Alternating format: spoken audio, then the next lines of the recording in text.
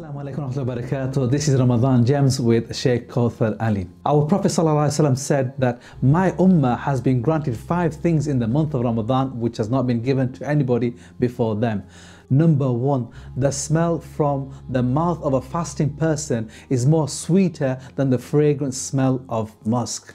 Allahu Akbar. Number two, the fish in the ocean seek forgiveness for the person who's fasting until they break the fast.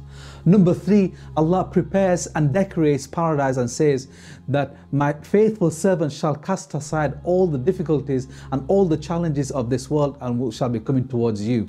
Number uh, four, Allah subhanahu wa ta'ala says that the evil shaitan has been chained up. And number five, Allahu Akbar, on the last day of Ramadan, Allah forgives the sin of every single person, subhanallah.